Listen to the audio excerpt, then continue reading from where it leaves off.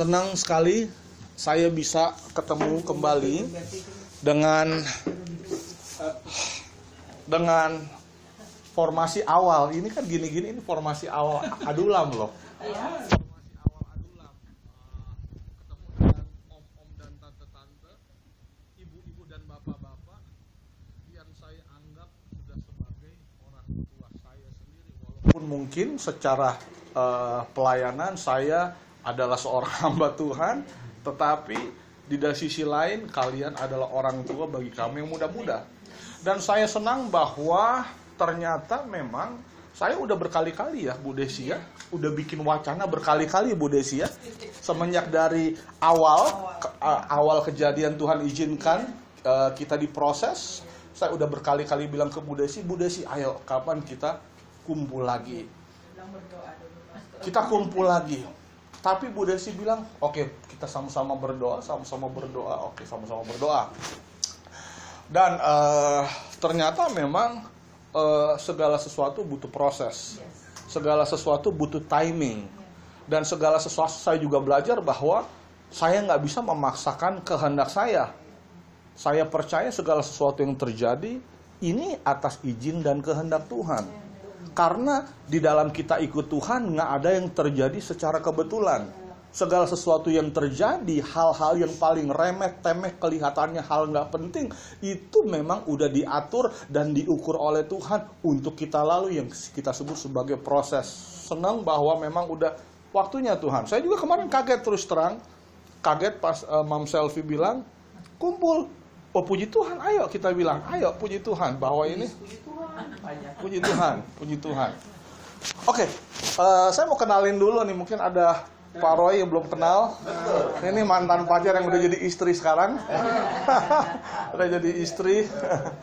Dan eh, senang bahwa selama beberapa bulan ini, eh, selama beberapa bulan ini, Tuhan ada banyak melakukan hal-hal baru bagi kehidupan saya. Saya diberikan pendamping baru, saya diberikan eh, banyak hal-hal baru di dalam kehidupan saya. Nah, pada malam ini kita langsung masuk ke renungan firman Tuhan. Saya mau tanya dulu nih, saya takutnya saya udah saya udah berkali-kali kasih firman, takutnya saya ngulang lagi oh, firman yang akan saya sampaikan. Pernah nggak saya berbicara tentang Eden atau empat sungai? Eden, Eden, judulnya Eden dan empat sungai. Itu bukan bukan Eden ya, ada empat sungai tapi kayaknya bukan Eden ya. Pernah nggak saya bawa, bawa, bawain di tengah-tengah kita? Belum ya? Belum ya? Oke. Baru. Amin, amin. Puji Tuhan. Oke. Pada malam ini saya akan berbicara tentang Eden and the four rivers. Eden dan empat sungai. Saya ingin kita baca bersama-sama di Kejadian 2. Di Kejadian 2 ayat 8. Kejadian 2 ayat 8 kita baca bersama-sama. Satu, dua, tiga.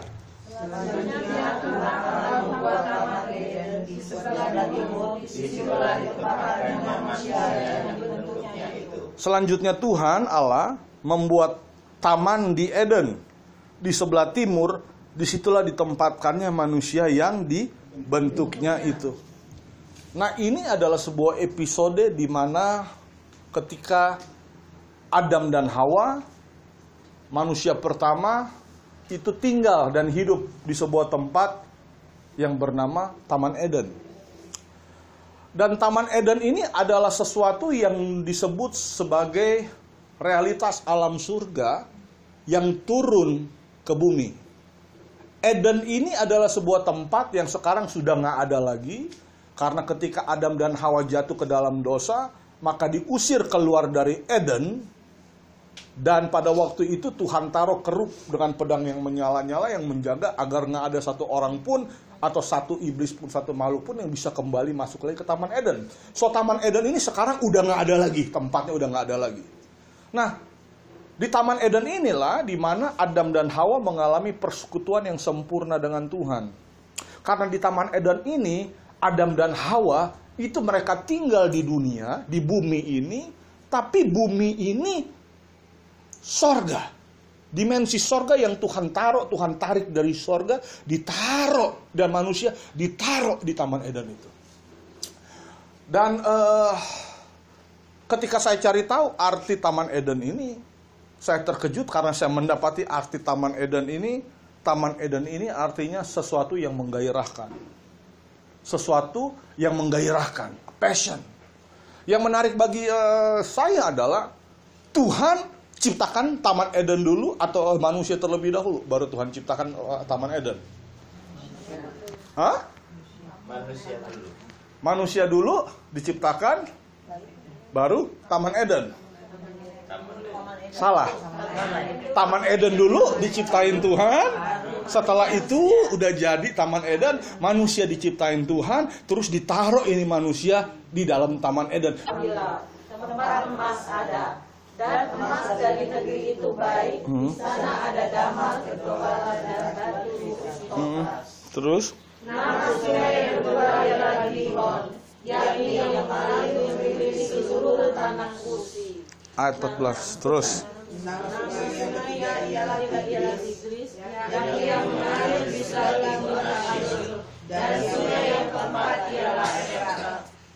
jadi ada berapa sungai di sini? Ada empat. Sungai pertama namanya Pison. Sungai kedua namanya Gihon. Sungai ketiga Tigris. Sungai keempat namanya Efrat. Terus kita baca di ayat yang ke-15. 1 2 3. mengambil manusia itu dan menempatkannya dalam taman Eden untuk mengusahakan dan memelihara. Tuhan Allah, Tuhan mengambil saya dan saudara, diambil kita, dan kita ditaruh di dalam. Jadi gairah itu bukan Tuhan kasih di dalam kita enggak. Kita yang dimasukin Tuhan ke dalam Eden ini. Ini loh. Ngerti enggak? Tapi kalau iblis enggak. Iblis akan masukkan gairah itu ke dalam diri saudara. Tapi Tuhan bilang enggak begini. Aku enggak kasih kamu berkat, no. Aku taruh kamu, tenggelamin kamu di dalam berkat. Ditaruh manusia di Taman Eden, ditaruh. Tapi baca sekali lagi, baca sekali lagi.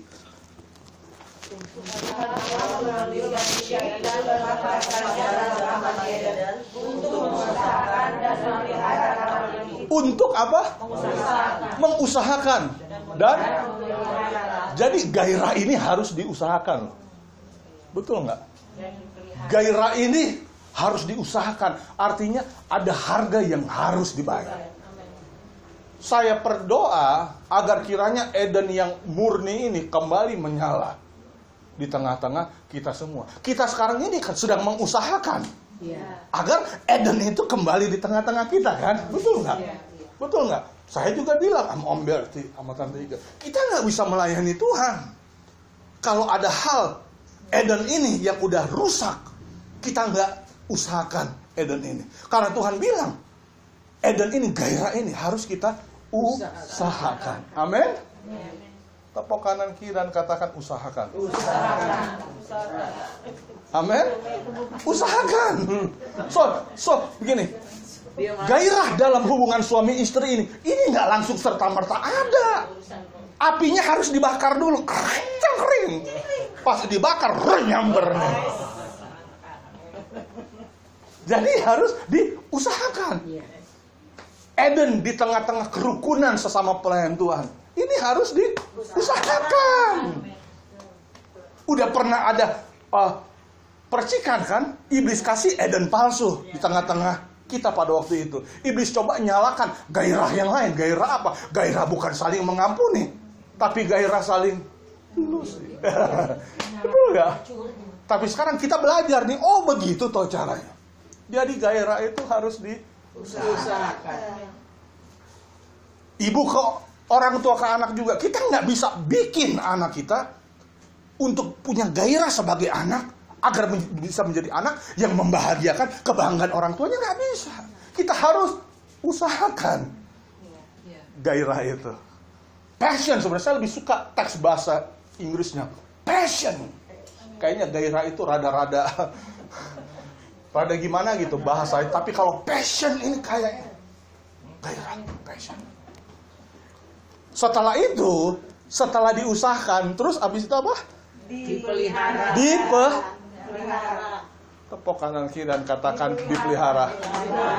Artinya, artinya sesudah sesudah sekarang ini, sesudah sekarang ini, sesudah pertemuan ini, sesudah pertemuan ini harus dipe, harus berkelanjutan. Amin. Harus dipelihara, diusahakan dan kenapa umat Kristen kehilangan Eden? Karena umat Tuhan udah nggak mau berusaha, udah nggak mau memelihara lagi. Simple aja kok Tuhan bilang. Usaha, pelihara. Gairah itu. Nah, sesudah itu, nah saya udah bilang ada empat sungai kan di sini. Kalau kita baca sekilas aja, kita nggak dapat apa-apa di situ. Tapi sesungguhnya setiap sungai ini, ini ada arti rohaninya. Ada arti rohaninya. Kita buka yuk. Yang pertama, sungai yang pertama. Satu, dua, tiga. Yang pertama namanya Pison, yakni yang mengerti seluruh tanah Awila, tempat emas ada. Saudara tahu nggak arti pison itu? Saya ketika saya cari tahu pison saya terkejut artinya grace. Grace. Grace. Kita diselamatkan bukan karena perbuatan baik kita, tapi karena grace dari Tuhan, kemurahan Tuhan. So kalau kita ingin mengusahakan dan memelihara Eden ini terus bergairah menyala, kita harus ada grace satu dengan yang lain. Kita harus ada grace satu dengan yang lain. Grace itu begini artinya. Grace itu begini. Kita ini nggak layak menerima kebaikan Tuhan. Berulang kali saya nggak peduli sekudus apa pun saudara, seurapan apa pun saudara, berkali-kali tanpa saudara sadar maupun saudara sadar, pasti saudara akan menyakiti Tuhan. Baik dengan perkataan, dengan pikiran, betul? Betul? Tapi kok Tuhan bilang, setiap kali kamu menyakitiku, tapi setiap kali pula aku mengasihimu, karena my grace is bigger than your sin. Kasih karuniaku lebih besar daripada seluruh pelanggaran. Itu yang disebut grace. So satu kita satu dengan yang lain. Seburuk apa pun perbuatanmu, seburuk apa pun perbuatan kau kepadaku, kasih karunia yang ada di dalamku jauh lebih besar daripada pelanggaran yang kau lakukan kepadaku. Amin. Amin. Itu yang disebut grace. Grace. Nah, yang lucunya lagi, arti sungai Pison ini increase. Tahu nggak increase apa? Increase itu begini. Dari sini, dari titik paling bawah, dia naik, naik, naik, terus, terus naik. Dan terus naik, dan nggak ada batasnya. Batasnya hanya sorga. Itu yang disebut dengan increase. Increase, decrease, lawan kata dari increase itu decrease. Decrease itu artinya menurun. Kalau increase itu artinya naik terus. Grafik. Tapi increase ini nggak terjadi dalam ruk sekejap enggak. Increase ini sama seperti kita naik eskalator. Dia bawa kita kan perlahan, perlahan, bertahap, bertahap. Sama seperti kita naik lift. Lift bawa kita nggak langsung syup, enggak, perlahan. So itu yang disebut dengan increase. Hal pertama yang Tuhan mau kita miliki setelah kita punya grace, baru hidup kita akan terus naik. Karena ada ayat yang bilang engkau akan menjadi kepala bukan menjadi ekor. Itu yang disebut dengan increase. Tapi increase ini orang Kristen sering terjebak. Gua Kristen. Gua harus increase di dalam berkat. Gua harus increase di dalam kekayaan. No, ukurannya bukan itu. Ukuran increase ini, saudara increase dalam berkat, iya puji Tuhan, tapi saudara juga increase dalam kasih karunia. Saudara increase dalam eh, banyak hal. Atribut luar, berkat itu saya sebut sebagai atribut luar. Pengalaman kita yang paling cetek bersama Tuhan itu kita kita alamin berkat Tuhan. Tapi ada banyak hal lain yang jauh lebih penting dari sekedar berkat ini. Increase dalam hal apa? Increase dalam mengasihi tanpa syarat. Increase dalam apa? mengampuni mereka yang nggak layak kita ampuni. Increase dalam hal apa? Mengasihi mereka yang membenci kita. Increase dalam hal apa? Naik meningkat dalam memberkati orang lain. Increase dalam hal apa? Increase dalam pekerti, budi pekerti. Increase dalam apa? Increase dalam sesuatu yang berkaitan dengan hati kita. Berjiwa besar, lapang dada, harus increase gitu. Amin. Pengampunan harus increase, jangan decrease. Saya percaya hari ini nih kita paksa diri kita, kita expand perlebar kapasitas kita untuk kita increase dalam saling menerima satu dengan yang lain. Amin. Increase, increase. Anak Tuhan kalau dia nggak increase artinya dia belum berada di jalur yang tepat. Tapi kalau saudara berada di jalur yang tepat, pasti saudara increase dalam banyak hal. Increase dalam pekerjaan, ini udah increase kita semua ini. Bu Yuli dulu di, di sebelah, kan increase lebih luas sekarang tempat ini kan? Betul kan? Increase dalam banyak hal. Increase dalam apa? Hikmat pengetahuan. Tuhan kasih hikmat lebih lagi. Increase dalam hal apa? Dalam pewahyuan. Increase dalam apa? Dalam penyembahan kita ke Tuhan harus lebih increase lagi. Betul nggak? Penyembahan kita ke Tuhan harus lebih naik, bukan turun. Saya ingin kita semua ngerti, kita anak-anak Tuhan harus increase, jangan decrease. Amin. Makanya iblis akan coba buat saudara untuk nggak increase. Iblis akan coba buat saudara untuk membuat saudara decrease. Caranya apa? Iblis akan membuat saudara nggak berdiri di atas pijakannya Tuhan. Karena kalau saya berdiri di eskalator, artinya saya perlu susah payah nggak? Tidak. Hah? Enggak. Ketika saya berdiri di eskalator, saya tenang aja. Yang bawa saya naik, ini bukan saya. Eskalator ini yang bawa saya naik. Betul nggak? Makanya pijakan kita harus tepat dulu. Kalau kita berpijak di tempat yang salah, nggak akan naik-naik. Kita harus berpijak di ini, firman. Firman ini yang akan bawa kita increase. Amin. Hal pertama increase. Tepuk kanan kiri dan katakan naik bersama Tuhan. Haleluya. Increase di dalam pengampunan. Increase di dalam penerimaan satu dengan yang lain tanpa syarat. Increase di dalam memulihkan mereka. Increase dalam saling mengasihi. Itu yang paling penting. Increase, bukan decrease. Yang kedua, sungai yang kedua. Apa? Kita baca yuk. Satu, dua, tiga. Nama sungai yang kedua adalah Gihon. Yang mengalir mengelilingi seluruh tanah Kus. Yang sungai Nama sungai yang kedua ialah Gihon, yakni yang mengalir mengelilingi seluruh tanah Kus. Arti Gihon, ada yang tahu? Kalau ada yang tahu saya kasih sepeda nanti.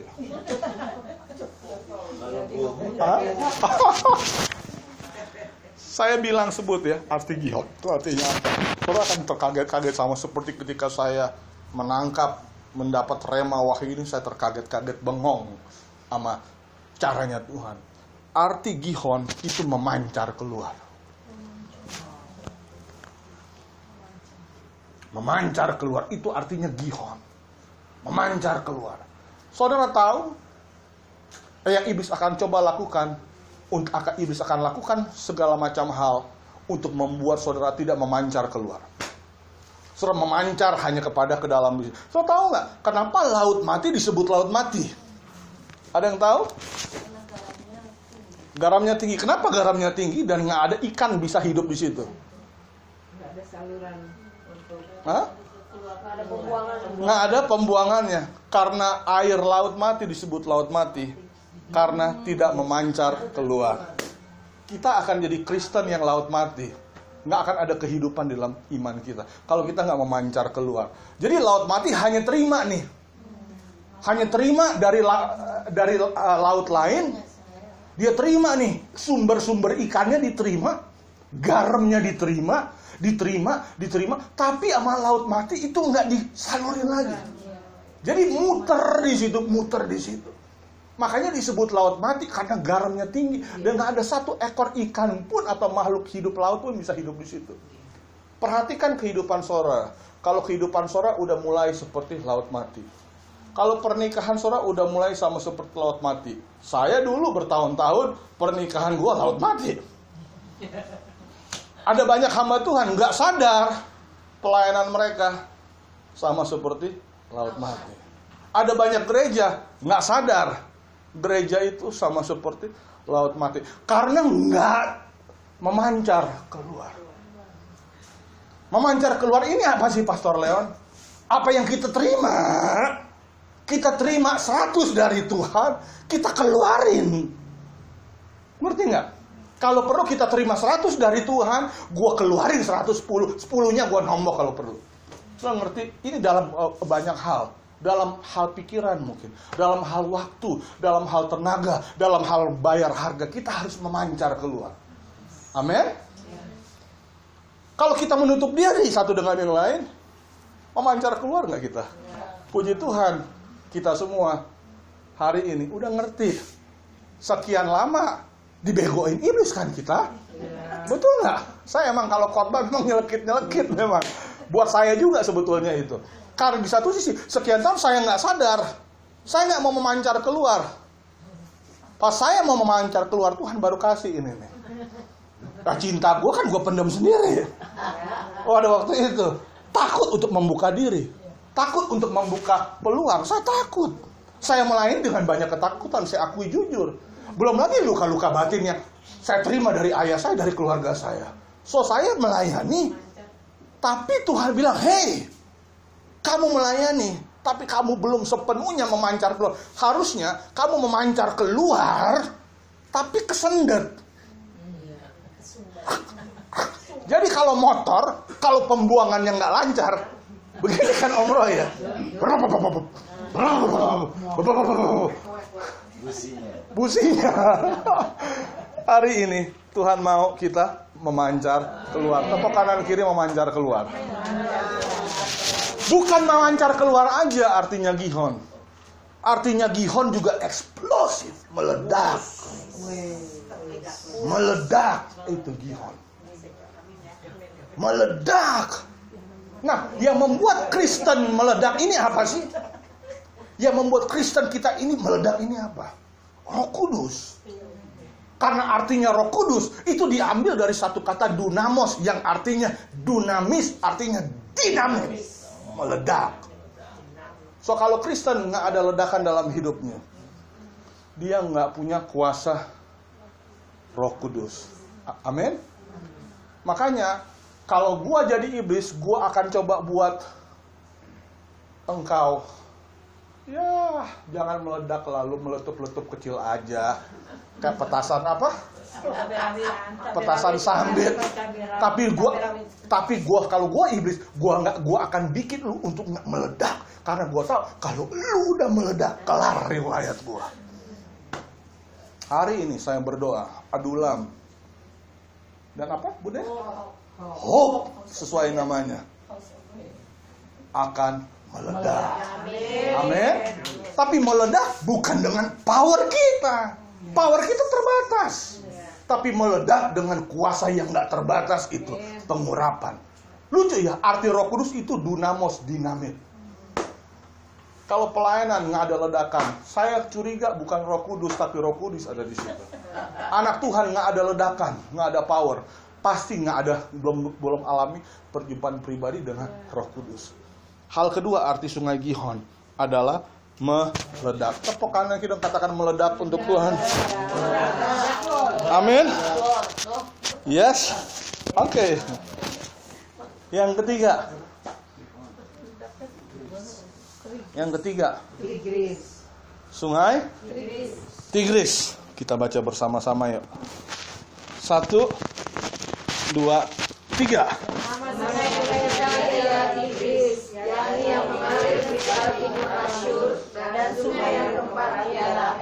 Nama sungai yang ketiga Tigris yang mengalir timur Efrat, timur Asyur dan sungai keempat ialah Efrat. Arti Tigris Saya terkejut ketika saya dapati arti Tigris itu rapid.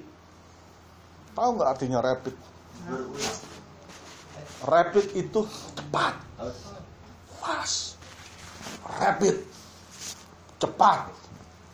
So Tuhan bilang begini, Tuhan mau kita nggak sekedar meledak tanpa ada arah, tapi Tuhan mau kita meledak dengan tujuan cepat.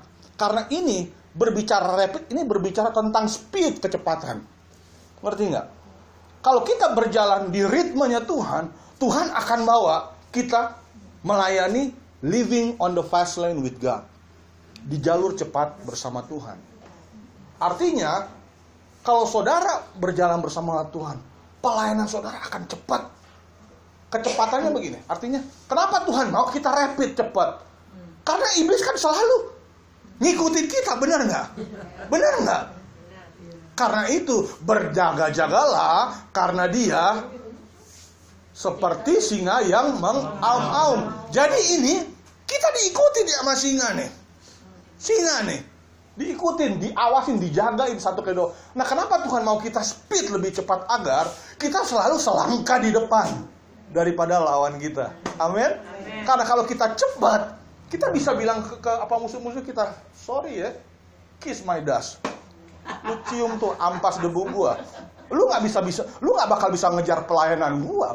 Lu nggak bisa bakal ngejar pengurapan gua. Lu nggak bakal bisa ngejar hikmat atau wahyuan yang Tuhan kasih karena kecepatan gua lebih cepat dari lu. Gua udah masuk ke dimensi gihon bersama Tuhan. Amin. Saya berdoa hope ini akan cepat Tuhan pakai. Amin. Akan meroket cepat bersama Tuhan. Gihon artinya rapid. Makanya rumah tangga yang kalau eh? Oh Tigris ya? Eh, tigris. Tigris rapid. Makanya kalau suami istri mereka udah masuk ke destiny Tuhan, itu cepet banget. Bu Yuli menikah dengan apa Om Roy udah berapa lama? 2001. Tapi eh, benar-benar kenal Tuhannya kapan? Ya pas sudah nikah itu dia. Oh, udah. Setelah menyerahkan diri baru dia mau tak kawin. Hmm. Oh, berarti hubungannya udah udah lama dong ya? dari 91 Dari 91. kita kumpul dari 91 sampai 2011 baru diberkati Hmm, hmm, hmm. Coba Ibu Yuli sama apa Om Roy kilas balik ketika Om Roy dan Bu Yuli belum masuk ke tigrisnya Tuhan. Ketika Om Roy dan Bu Yuli udah masuk ke tigrisnya Tuhan, Tuhan bawa cepet nggak dalam Beda. banyak hal. Speednya cepet ya Om ya. Beda ya. Dulu taunya begadang, pulang pagi tidur, besoknya sore begadang lagi. Ah. Taunya cuma itu. Lambat kan itu hidup slow banget om ya. Kayak kura-kura itu kura itu dibilang kura-kura dalam tempurung rohani. Karena muter karena pelan sekali Iya. pergerakannya. Nggak ada peningkatan. Nggak ada peningkatan. Tapi coba Om Roy dan Ibu Yuli bayangkan ketika kenal Tuhan itu cepat Tuhan bawa. Tuhan bawa dari sini ketika saya terima Tuhan itu 2012. 2012. Artinya baru enam tahun ya. Saya benar-benar kasih hidup saya buat Tuhan. Sekarang saya berusia mau jalan 41 tahun. Artinya ada masa terbuang dalam hidup saya berapa tahun? Ah, Ini baru 12 eh, baru 12 tahun ya Hah? Enggak. Saya terima Tuhan 2012, benar-benar serius sama Tuhan. Berarti 35 tahun. Baru enam tahun. 35 tahun. 41 Sisanya 35 tahun yang dibuang-buang. 35 tahun kebuang-buang. Saya ikut Tuhan baru enam tahun. Tapi enam tahun saya ikut Tuhan dengan 35 36 tahun saya ikut Tuhan. Yang lima tahun ini mengcover 36 tahun itu. Contohnya dalam hal pelayanan. Dalam enam tahun ini Tuhan udah bawa saya dari sini ke sini, ke sini, ke sini, ke sini, ke sini, ke sini. Saya pelayanan ke Manado, saya pulang ke Jakarta, balik lagi ke Manado. Harus balik lagi ke Jakarta besoknya karena pelayanan. Itu kan cepat Tuhan bawa gerak pelayanan. Hampir mungkin udah banyak saya nggak kepikir. Cepat loh Tuhan apa bawa. Begitu pula dengan hal pewahyuan. Hikmat, itu Tuhan bawa cepat. asal kita mau merendahkan diri di kaki Tuhan. Nah, itu yang disebut dengan rabbit tigris.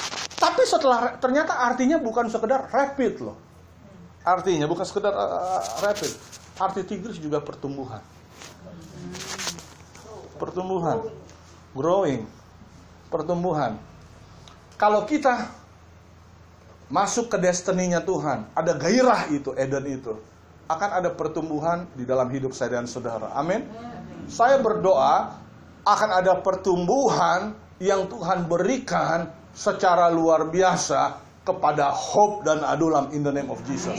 Akan ada pertumbuhan yang Tuhan kasih di dalam pekerjaan saudara. Akan ada pertumbuhan yang Tuhan kasih di dalam pelayanan saudara. Akan ada banyak pertumbuhan Tuhan kasih pertumbuhan dalam iman mungkin. Tuhan kasih pertumbuhan dalam kesabaran mungkin. Tuhan kasih pertumbuhan dalam memaafkan mungkin. Tuhan kasih per, uh, pertumbuhan dalam banyak hal.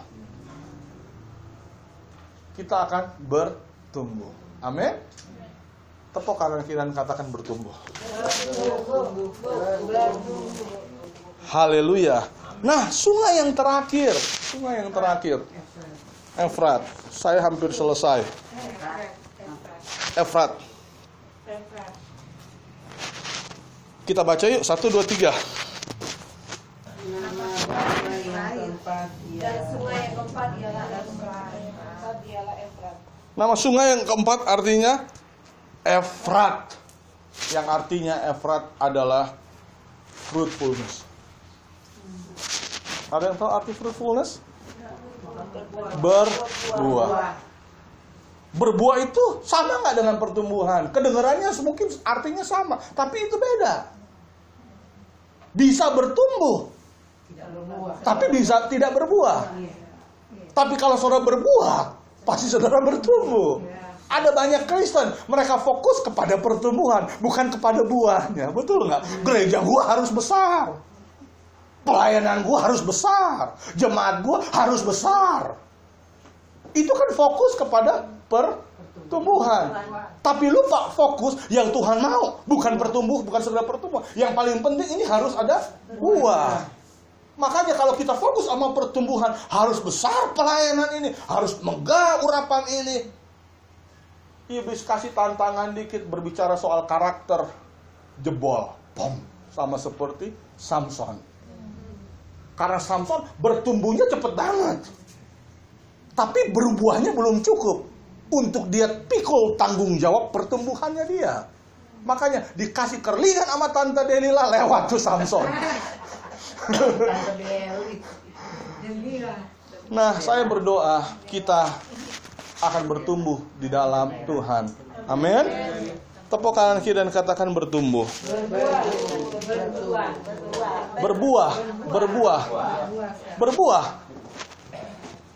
Berbuah itu apa sih? Menghasilkan sesuatu dari dalam diri kita. Buah ini dari dalam diri kita keluar sesuatu. Dari dalam diri kita keluar kehidupan. Itu yang disebut buah. Pernikahan, ketika ketemu Tuhan, pernikahan tersebut pasti akan mengeluarkan buah. Tadinya pernikahan tersebut keluarin buah kecubung mulu, teler tuh pasangan laki bini ya kan? Kecubung sih yang dikeluarin mabok bareng, mabok baik laki bini. Capek deh, ya teler. Buahnya salah. Nah, iblis juga akan buat saudara untuk menghasilkan buah yang salah. Buahnya apa? Saudara makan buah yang pertumbuhannya baik pasti enak, kelihatan dari luar juga enak. Tapi ada juga buah yang kelihatan dari luar memang lezat banget, nggak ada bedanya. Pas saudara petik, saudara makan kok kecut asem. Buahnya tuh diapain? Diperem. Matang sebelum waktunya. Jadi memang ada waktunya. Ada timingnya Tuhan. Amin. Berbuah. Bertumbuh, berbuah. Setelah berbuah, fruitfulness, Efrat juga artinya berhasil.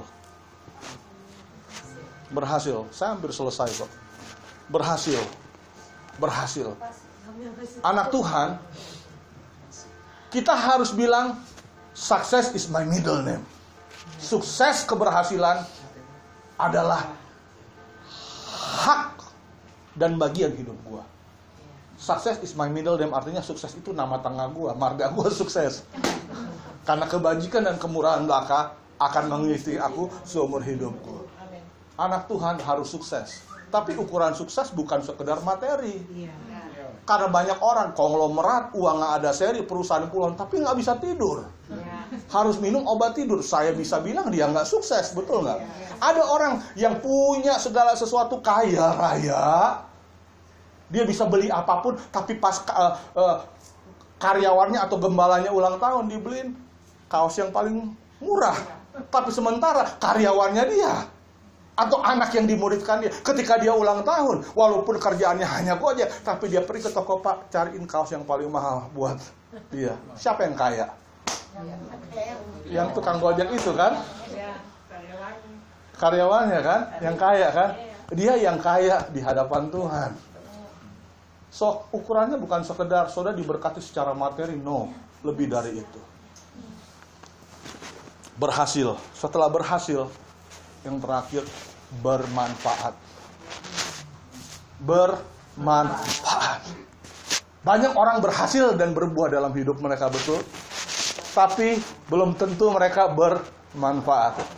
Banyak orang berhasil berbuah dalam pelayanan, tapi buah dan keberhasilan ini hanya untuk kalangan sendiri dong. Hanya untuk kalangan gue sendiri.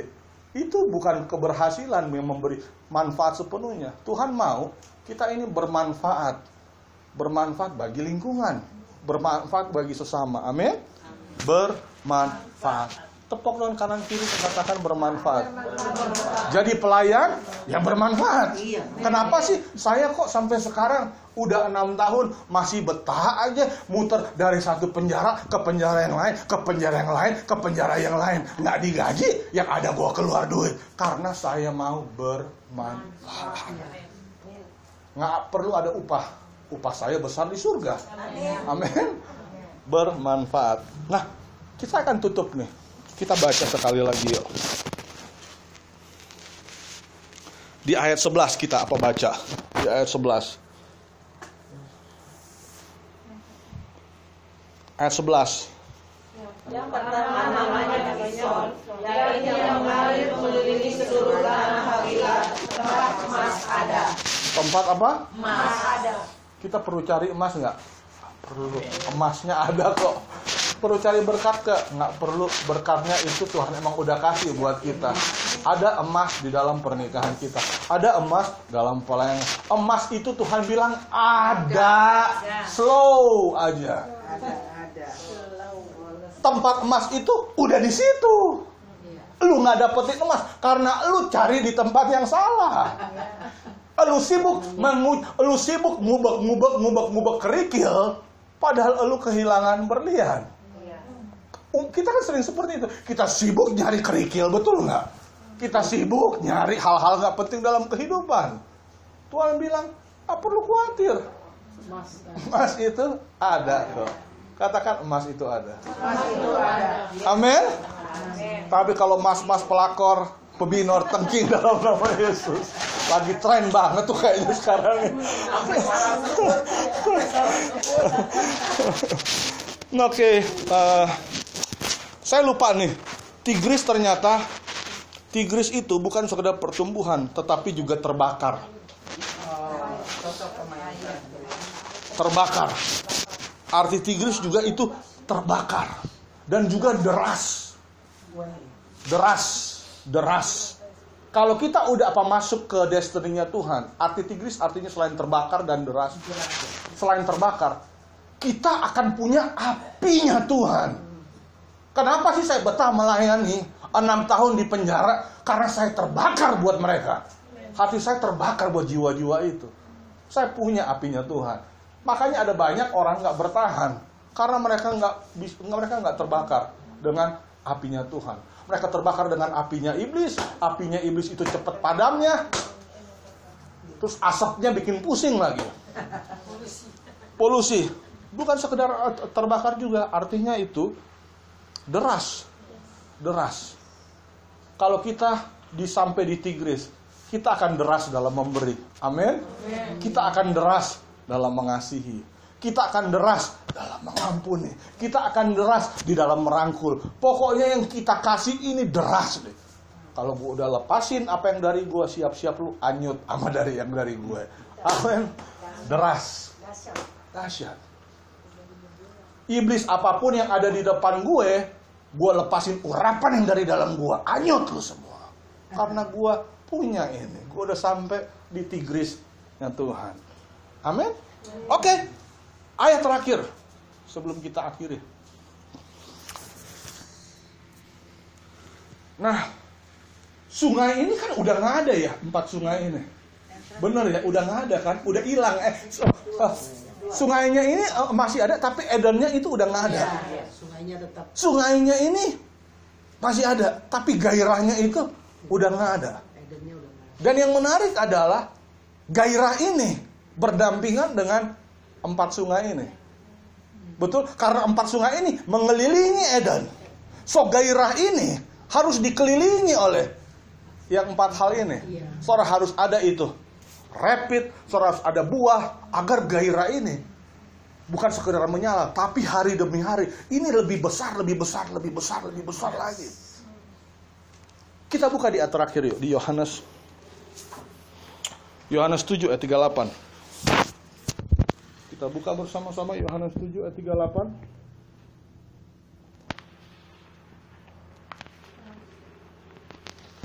Yohanes 7 Yohanes 7 ayat 3 Apa kita baca bersama-sama Satu, dua, tiga Siapa percaya kepadaku seperti yang dikatakan oleh kitab suci dari dalam hatinya akan mengalir aliran-aliran air hidup. Barang siapa percaya kepadaku seperti yang dikatakan oleh kitab suci dari dalam hatinya, dari dalam dirinya akan mengalir air aliran air hidup. So Tuhan bilang begini, Eden itu nggak hilang. Akan ada Eden di dalam hidup saudara. Kalau empat sungai ini ternyata mengalir keluar dari dalam diri saudara. Saudara nggak perlu ke sungai Efrat. Sungai Efrat itu ada di Irak. Jauh. Lagi dikuasai ISIS lagi itu sekarang. Saudara nggak perlu ke sungai Tigris. Perbatasan antara Irak dan Suriah. Nggak perlu ke sana. Yang saudara perlu lakukan, saudara lakukan ini. Dan Tuhan bilang, Tuhan akan keluarkan sungai itu dari dalam hati kita. Amin. Akan ada empat sungai ini dari dalam hidup saya dan saudara. Ayat 39 kita apa baca bersama-sama. Satu, dua, tiga. Yang maksudnya adalah yang pertama percaya kepada dia sebab roh itu belum datang karena Yesus belum dimuliakan. Jadi aliran-aliran air hidup ini, sungai Gihon, sungai Pison, sungai Tigris, sungai Efrat, ini ada karena apa? Yang dimaksudkannya ialah roh yang akan diterima oleh mereka yang percaya. Sora ingin mengalami keempat sungai kehidupan ini, terima roh Tuhan dulu. Karena roh Tuhan ini yang akan menghasilkan sesuatu sungai yang mengalir keluar dari dalam hidup saudara. Amin. Dari hope, dari adulam. Banyak orang lain nggak ngerti rahasia ini, tapi sekarang kita ngerti rahasia ini. Ternyata sungai itu Tuhan taruh di dalam diri saya dan saudara. Yang perlu kita lakukan hanyalah mengaktifkan sungai tersebut. Amin. Nggak usah khawatir, emas itu ada di situ. Berkat itu ada di situ. Amin. Saya kembalikan ke pembawa acara segala hormat hanya untuk Tuhan Yesus. Terima kasih kiranya Tuhan telah memberikan menyampaikan isi hati Tuhan